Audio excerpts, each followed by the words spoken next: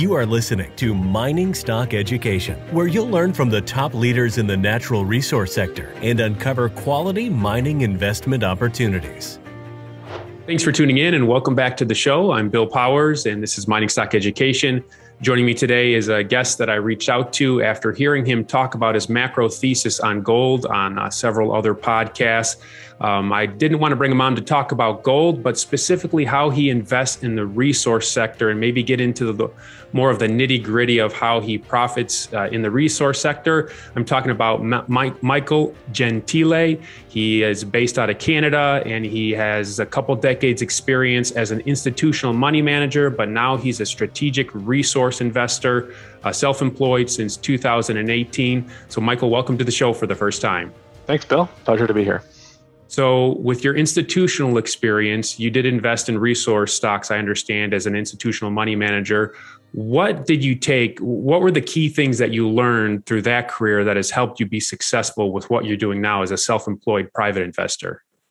It's a great question. It's one I could probably talk about for, for an hour. You, you learn a lot. Uh, and, you know, Bill, in this business, you learn from your mistakes uh, over years. So 20 plus years in the commodity investing business, uh, made a lot of mistakes. And I learned uh, the best way to learn is through mistakes. Uh, so a few things I'd say one to be timing.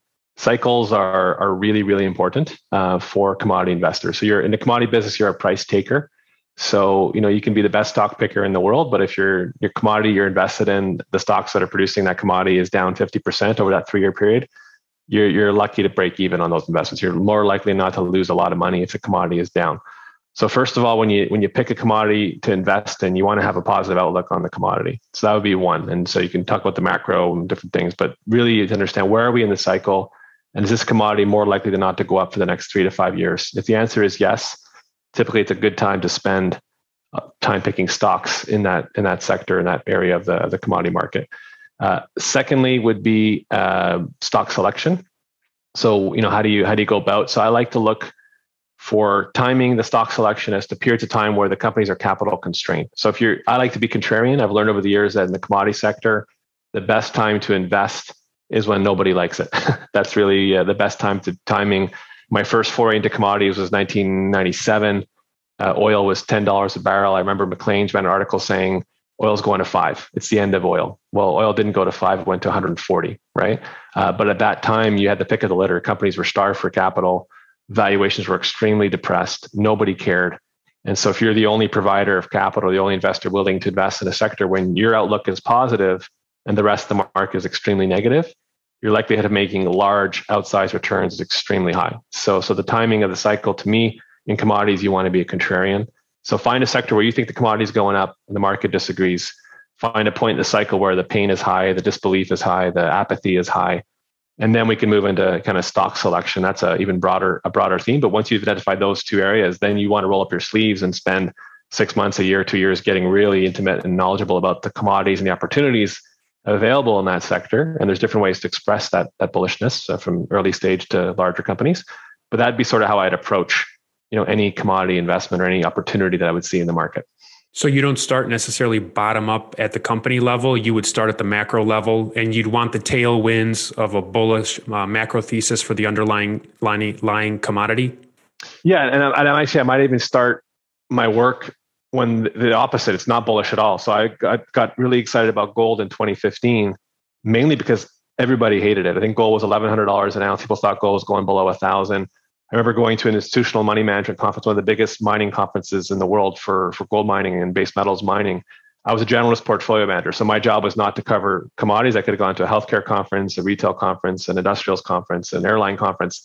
I chose to go there. And the organizer told me, you're the only generalist portfolio manager at the conference that year. So everyone else that was there, their mandate, they had to invest in gold or base metals. So that was their job and they had to be there. I was the only one that was there almost out of choice that I could have gone anywhere, but I went there. And typically, in, when cycles are good, you might have 500 to 1,000 generalist investors there. So that really told me that the the bus was completely empty, so to speak. There was zero interest. There was total apathy.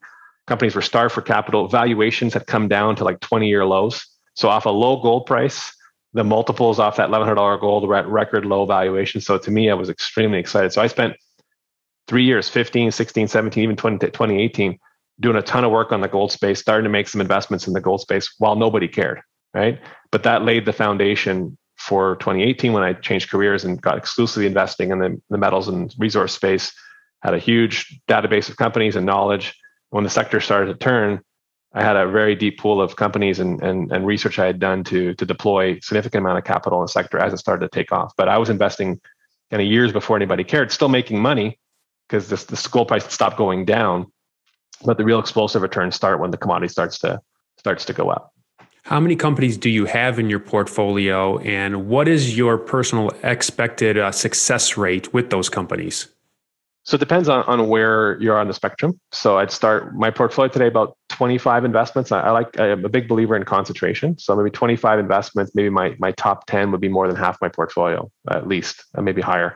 Um, in the early stage exploration front, I'm talking about you know five to 20 million dollar market caps when you first get involved in, a, in an early stage exploration story.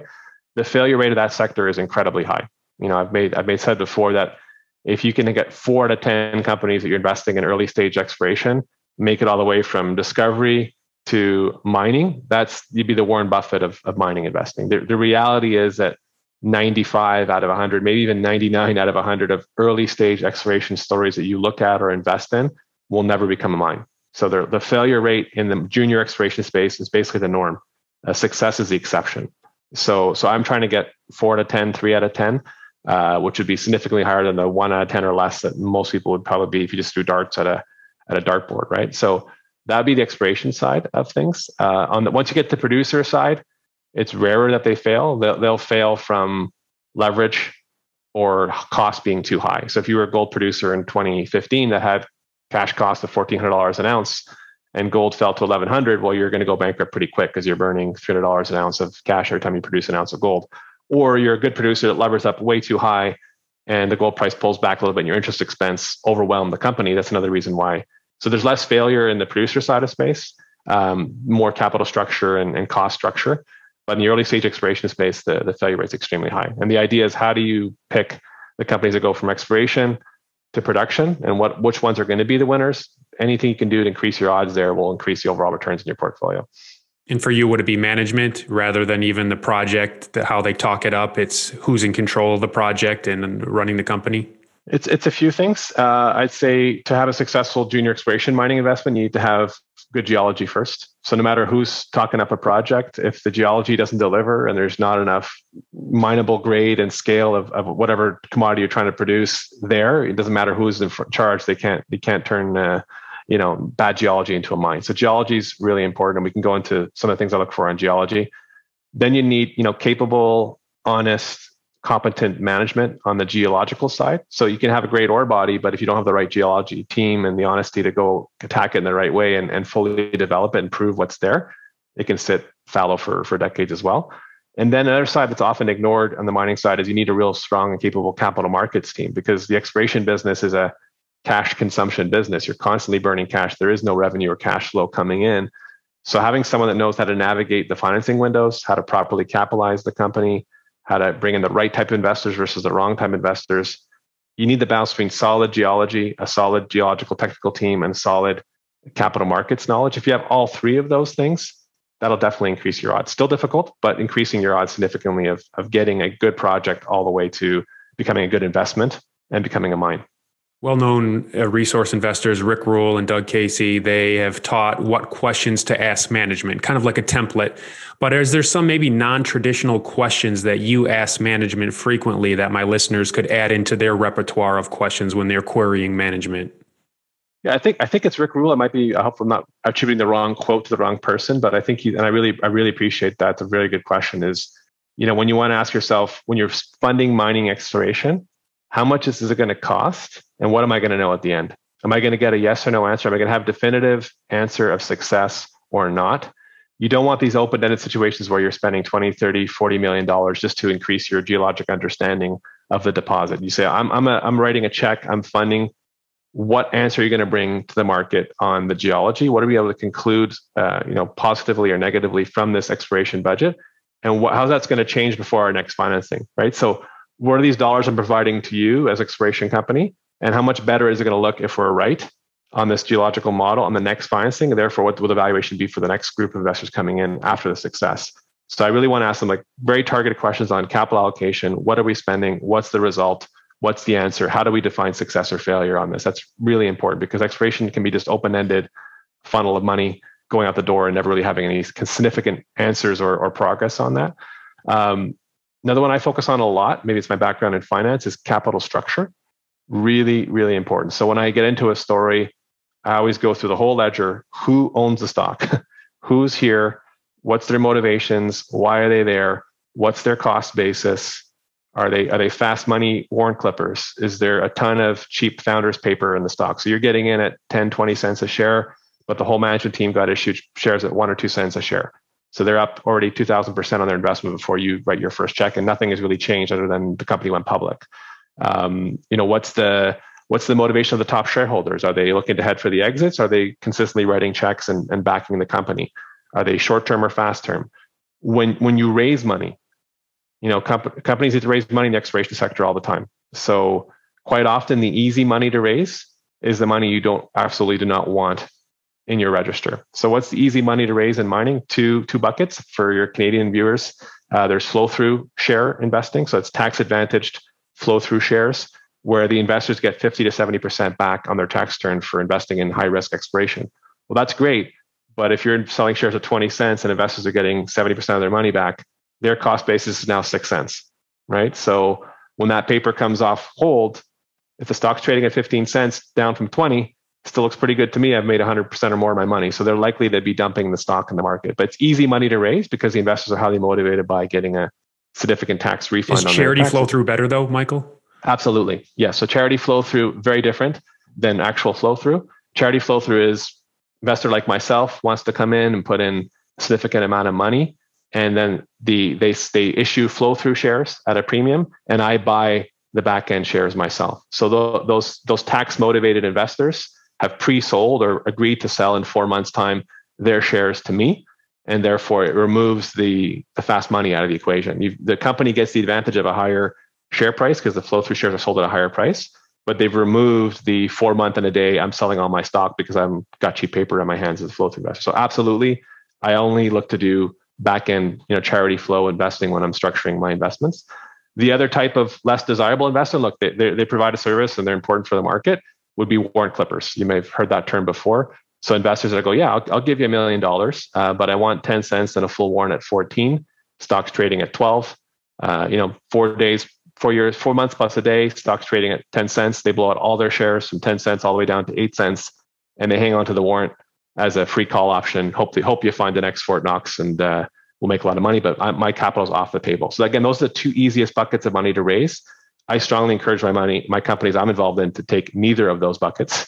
You know, beggars can't be choosers, but take neither and do the hard work to go find sticky, you know, long-term investors that are looking for five to 20 times their money on success that may be willing to cut further checks in the future to fund the company and to have alignment with the, the long-term vision of management. Now, again, in bear markets, those investors are typically not available. So you've got to navigate through what you can get for a company but be aware, eyes wide open, management teams and investors, when you're you're getting in bed with those type of investors, your short-term return is probably going to be severely impacted by the the fast money nature of your of your partners in that deal.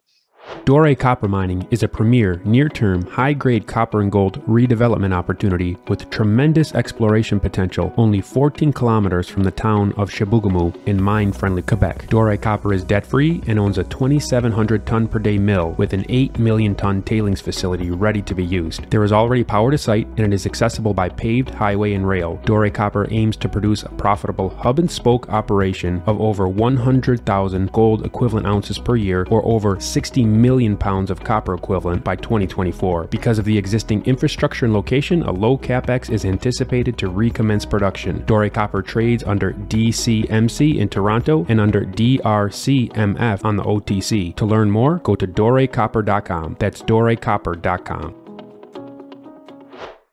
Let's talk gold producers. Uh, you've been on other shows talking about how the gold producers actually make economic sense, whereas in, historically they may not have, but it's actually a good business right now. What do you look for? What's the general profile of a gold producer that you would invest in?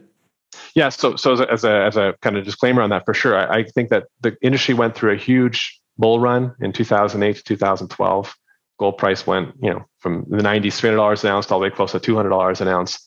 And that created a lot of excessiveness in the industry. So companies started acquiring mines that had very high cost structures, like a $1,500 an ounce all in sustaining cost mine. Yeah, it works at $2,000 gold, but if the gold price pulls back, it's a, it's bank, could bankrupt your company, right? They did a lot of acquisitions because they thought bigger was better, but they weren't really well thought out in terms of the returns. And are, are they actually synergies here? We're just trying to get big for big sake. So the industry went through a huge washout in 2012 through 2018, 2019, where they cut costs, they streamlined their operations, they closed their high cost mines, cleaned up their balance sheet, and started focusing on returns, which was not something the industry had focused very much on the last 10 or 15 years.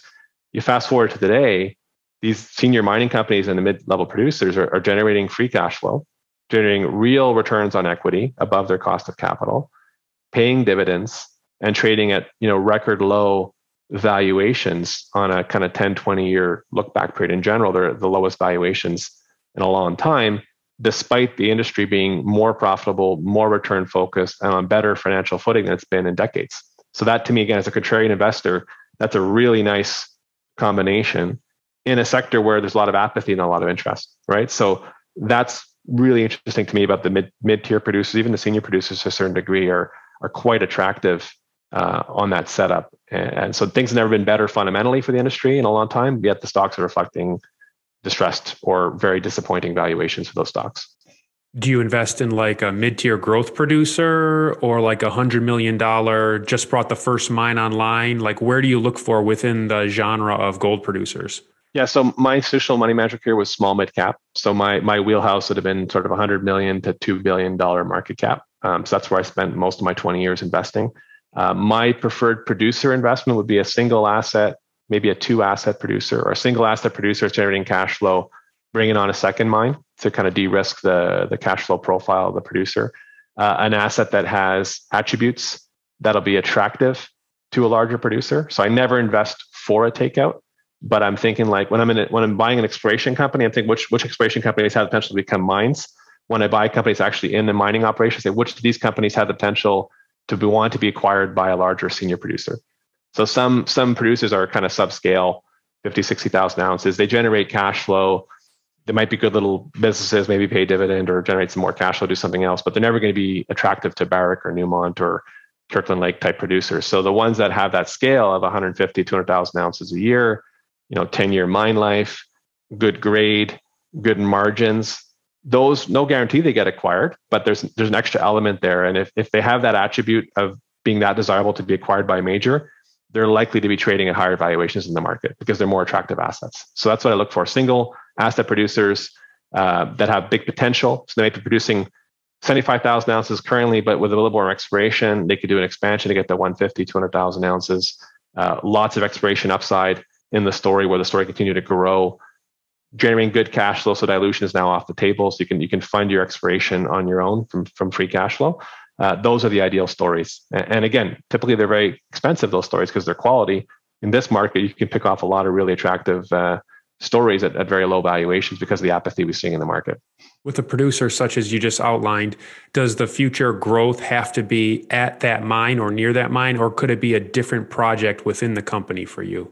Yeah, I mean, a, an ideal situation would be you have one asset producing 100,000 ounces a year, generating 100 million dollars a year of free cash flow, uh, and you've got a second asset, high quality asset in the pipeline that you've either acquired uh, a smaller company to, to build, they have the money to do it, or you organically found it yourself, and then that free cash flow can can double your production from 100,000 ounces to 200,000 ounces as that new mine comes onto production. So that so you have you know true dilution free growth where the free cash flow of that producing mine is funding the expansion you don't have to come back to the market like an explorer would do to constantly fund the next stage of development. So yeah, that's an ideal situation for me. And what you also see, Bill, is typically single asset producers trade at discount valuation because if there is a political event or uh, uh, earthquake or some kind of situation happens or disruption, political disruption, uh, that mine could be shut down. If that's your only source of cash, the whole company's lifeblood is shut off. Once you get to two mines or three mines, there's a major step up in valuation. So the, the jump from a single asset producer to a two asset or three asset producer, there is typically a bump up in valuation. As an investor, I want, I want to capture that upside. If I can find a company that has a good first project and a second project that I really, really appreciate, that's another ideal situation for me to invest in. So, of the 25 companies in your portfolio, how many would be producers? Uh, I'd say on a dollar basis, uh, it's about 30 to 40% producers, uh, 30 to 40% explorers, you know, early stage companies that I, that I aspire, I think have potential to become producers or hope that they become producers. And then about 5, 10% physical gold and silver, maybe 5, 10% cash. These days I'm increasing my cash a little bit because uh, I see some storm clouds for the market ahead. Uh, so I think I want to have a more cash. That's sort of my mix. But again, I'm on bottom up, it's not a hard rule. If I found eight amazing producers tomorrow that I thought were fantastic, I, my producer weight would go up. If if those got really expensive, my exploration weighting might go up. It's really about the opportunity that I see vis-a-vis the potential valuation in the future. So you mentioned uh, potential storm clouds, and we often see sell-offs in the general equities in the fall. Could be September, October. If we do see something like that this year, do you expect the miners to go down with the general equities? This has been a debate I've had over the last few years on the show with different people's perspectives. Some people think the miners will shoot up. it's not going to track general equities down. What would be your take? My experience in 20 years, uh, so I haven't lived through every single market meltdown, but I'd say in general, if it's a major market meltdown, like you saw with COVID or like you saw in 2008 or 2001 or 1997, uh, the, the Russian crisis, uh, typically everything will go down because the investors are getting margin called and, and liquidating and, and forced selling in the market. But typically, what you see in a, in a correction is the high flying speculative stuff, the the the tech stocks that's trading at 45 times sales, or the the meme stocks, or the cryptocurrencies, or the, the really exuberant corners of the market, they'll be down. Let's say the market's down 40, those will be down 70, 80, 90%, likely to get completely annihilated. The you know gold price itself probably falls five or 10% because people are liquidating, but gold is a store of value. typically holds its value really well in a correction versus everything else getting sold off even harder. The mining equities will likely sell off as well. I would say to a lesser degree than the high flying stuff because they're less crowded. They're less, uh, you know, less like someone yells fire in a theater, everyone's trying to rush for the door. More people are going to die or get hurt. There's no one in the theater for gold stocks. They'll still get sold, but but they'll be less painful. So maybe they'll be down 10, 20, 30%.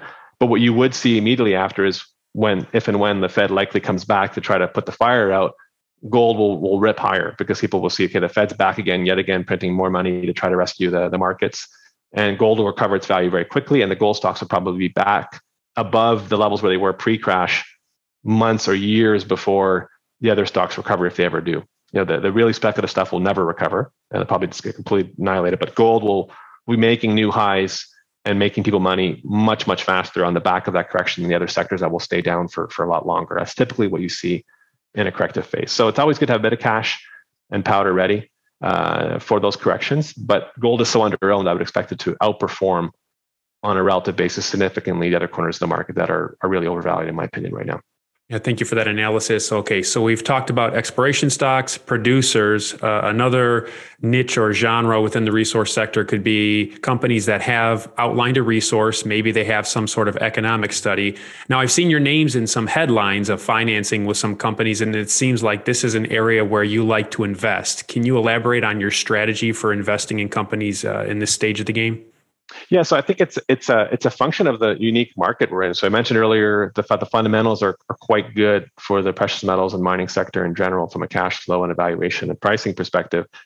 Typically, in, in when the fundamentals are good, you know, if you, I've been investing a lot recently in companies that sort of have PEAs, preliminary economic assessments, or existing resources already defined. So they've already crossed the lexicon of can we find something of value? They're already on the other side of that, which typically is a major moment uh, in a mining stock's valuation, mining stock's life. Typically, in a bull market or a strong market for, for precious metals, those PEA type assets will be trading at, you know, depending on the value, 100 million, 200 million, 300 million dollar market caps, because the market will say, well, you're you're one step closer to becoming a mine, so we're going to give you a significantly higher valuation than that company over there is just trying to find something, right? Uh, but what we're seeing because of the depressed valuation of the mining sector, how how few people are willing to fund any company under kind of 200 million dollar market cap these days I'm able to find and pick off these companies that I think have 100 million, 200 million dollar potential valuations today at 10, 20, 30 million dollar market caps. The valuation typically attributed to a junior explorer co that's hoping to find something. So that's really, if you can move up the quality curve and, and get a project that's much more advanced at a discount expiration multiple, why wouldn't you do that? So that's what I've been able to do. And that's why I like being contrarian, like investing in downturns, because you have those opportunities that are available to you that otherwise you would not have in other sectors currently where everything is getting fully valued on full potential. So, so that's really a function. Um, I'm not sure if you're asking about the when you get into developing a mine, like actually sinking the 200 to 300 to 400 million dollars of of capital required to build a mine, that becomes a little less exciting for investors. So your ideal outcome there is probably to be acquired, to find a project that is so attractive that a larger producer wants to build it because their cost of capital is lower, their ability to finance it is much higher. When you get in that phase and you try to go at it alone as a junior exploration company, the team that may have found it, explored for it, defined the resource, maybe got you to a feasibility study level, it's probably not the team you want to build the asset. That's a completely different skill set. Exploration, resource definition, and you know preliminary economic assessments is a different ballgame than actually building a mine. Then you want the professional mine builders to come in, right? So I've seen, you've probably seen this too, Bill, many companies that have kind of fallen on their sword, so to speak, in terms of trying to get it all the way to first production. Some can. Most of them need to recognize either need to upgrade the management team or, or sell to someone else who can do that more effectively. That's typically a period in the stock cycle that the stock will start to struggle because there's a lot of risks in that mine building phase. So the way you offset that is bring in the A plus team and also keep the exploration drill bit running so you can have the exploration investors still engaged with that story and, and showing them that this thing's actually going to get even bigger. It's going to be a mine today, but this thing could be significantly larger. Uh, the issue is most companies they get they're so tight on cash to get the company to production, the mine to production, they cut back on all exploration, all other non-essential activities, and so you have a two to three year period where you're just getting updates on a construction project, and, and typically investors will will lose interest at that point in time. So I've seen with your name mentioned in some press releases that once you come in and you add uh, funding to these companies, a lot of times you can get a nice re-rate in the share price, 50, even 100%. Is that part of your expectation when you're going into these companies, just knowing that in almost in to a lesser degree, but in Eric Sprott-esque fashion, you're actually a catalyst from a marketing or communication standpoint for these companies?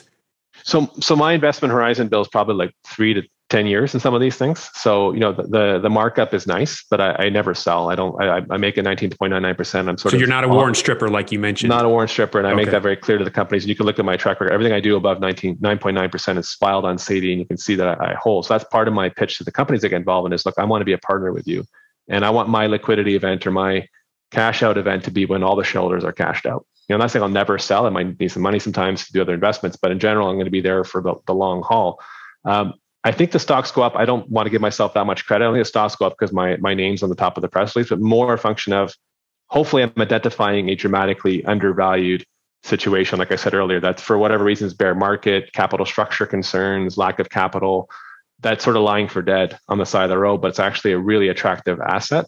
And maybe my involvement highlights that to other investors that have money kind of going, well, this looks like really attractive. So, you know, Mike got in at this price, but even up 50%, it still has 10, 10 times the return potential on this stock. So I'm going to, I'm going to make an investment as well. And quite often I'm also hopefully solving a problem. So, you know, when a stock is cheap, one thing I've learned 20 years institutional investor, always ask yourself, why is this stock so cheap?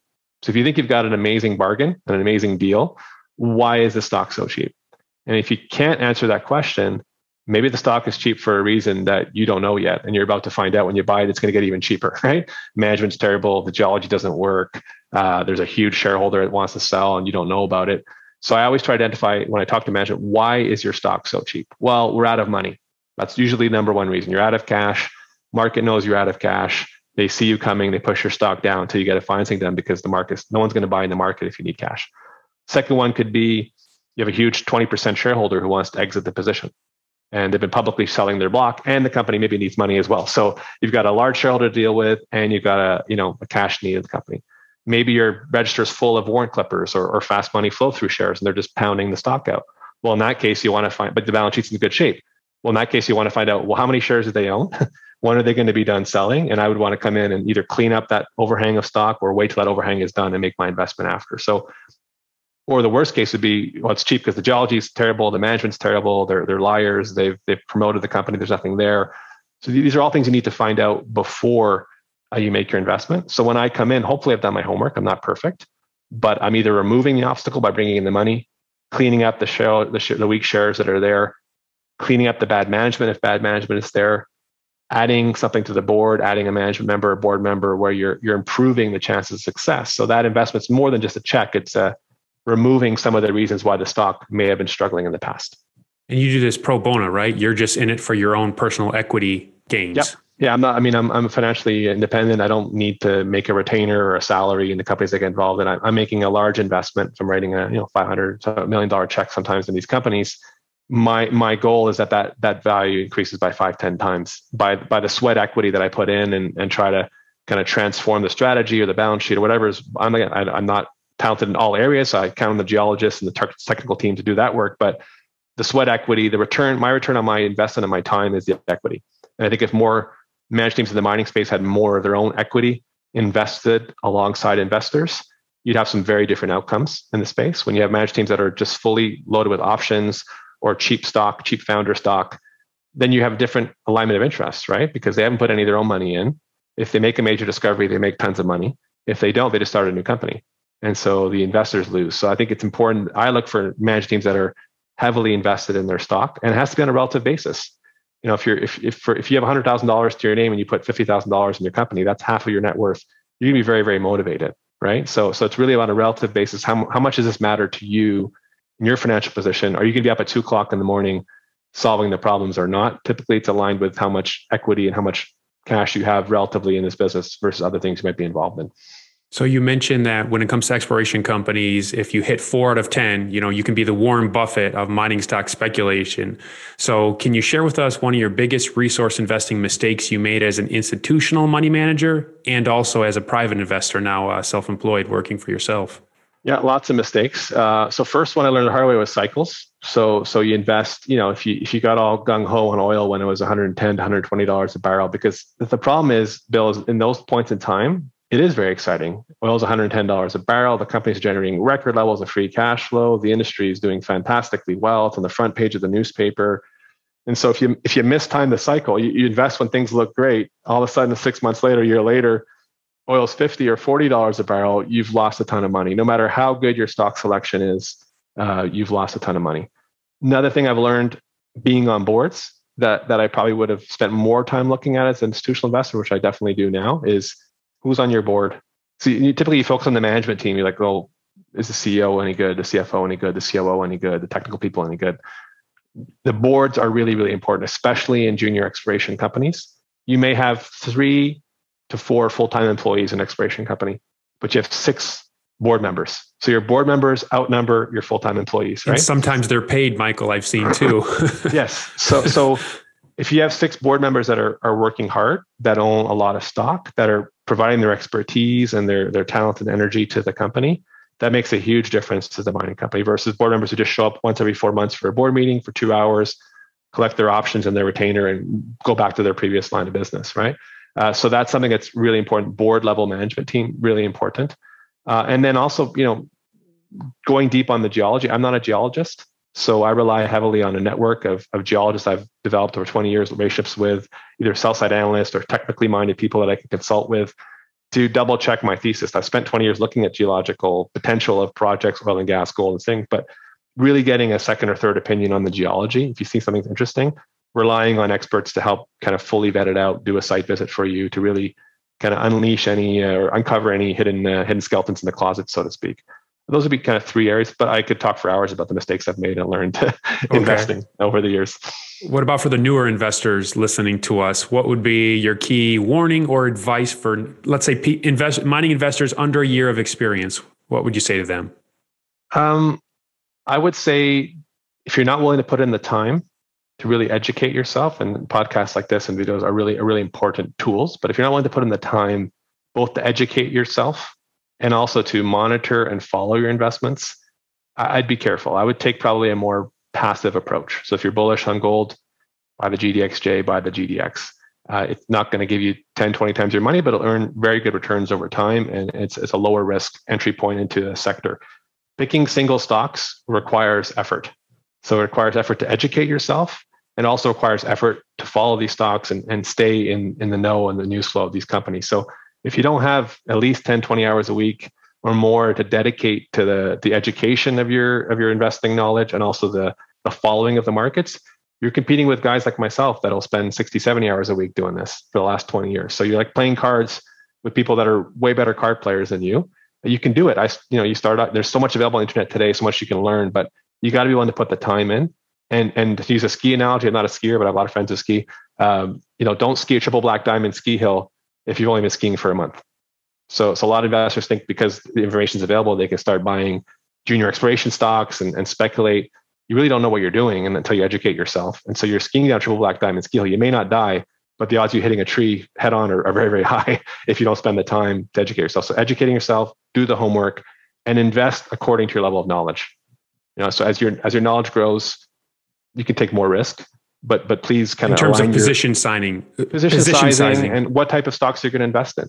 You know, and, and know know what you're investing in and know what the potential parameters of loss would be. So if I'm telling you exploration stocks, Warren Buffett four to ten ratio would be fantastic. If it's a one out of ten for a dart at a dartboard, know if you're buying an exploration stock, your, your chance of 50 to 70% loss is high. So be ready for that. Uh, also know if you get it right, you make 10, 20 times your money, but understand that the likely outcome is you're going to lose money until you find one that works and you make a lot of money. So be able to stomach that, be able to know, okay, I'm putting 5,000 or $10,000 in this, in this investment. I'm likely going to lose it all. So psychologically prepare yourself for that. Don't start spending the 10 times your money profits that you think you're going to make before you've had it. Just understand what you're investing in. If you're investing in Barrick Gold, your odds of losing all your money is very, very low. But if you're investing in an exploration company, the, the volatility and the risk of loss is much higher. So that just to be aware of what you're putting your money in before you do it.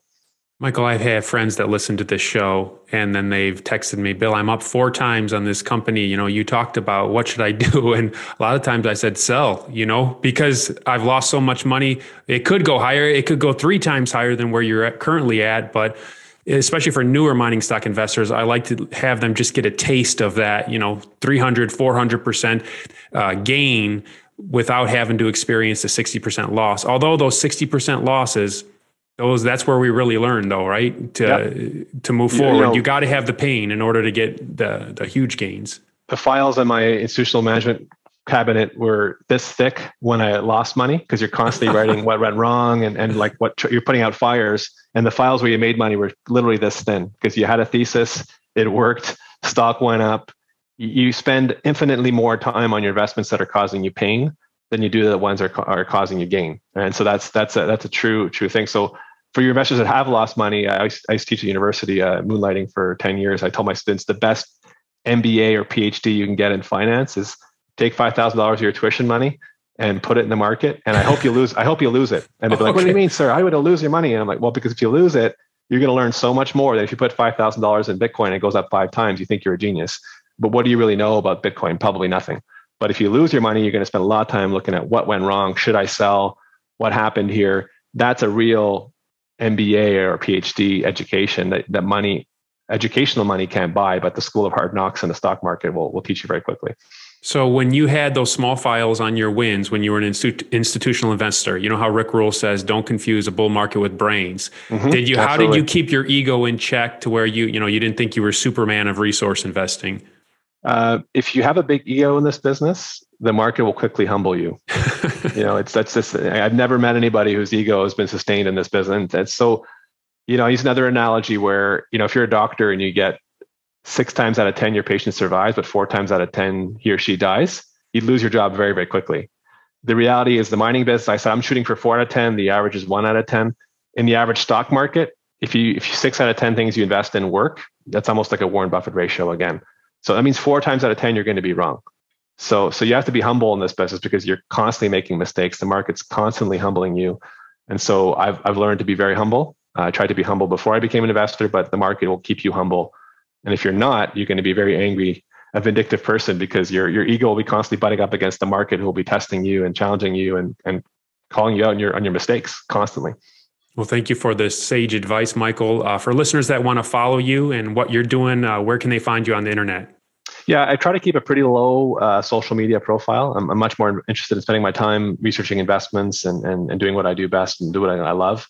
I have a, a, LinkedIn profile. I'm relatively not that active on it. Um, I don't really do a lot of posts. I don't write a newsletter. If they want to follow me, they can go on SEDI, S E D I, in Canada, and they can see, look up my name. They'll see what I own, and they'll see when I'm when I'm buying new positions or what I've been doing in my existing positions. So that's a good way to just to see what I'm really marrying myself to, getting above 9.99%. And when I do a new investment that's of scale, I typically might post something on LinkedIn, but I do try to keep a pretty low profile. I'm much more interested in, in the investment side of things than in promotion.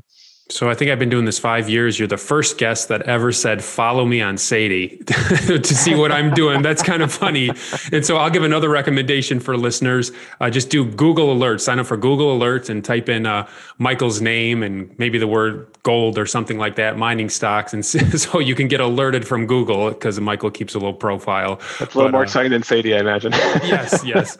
Well, Michael, really appreciate your, your honest and sage advice on today's show. So thank you for joining me. Thanks, Bill. My pleasure.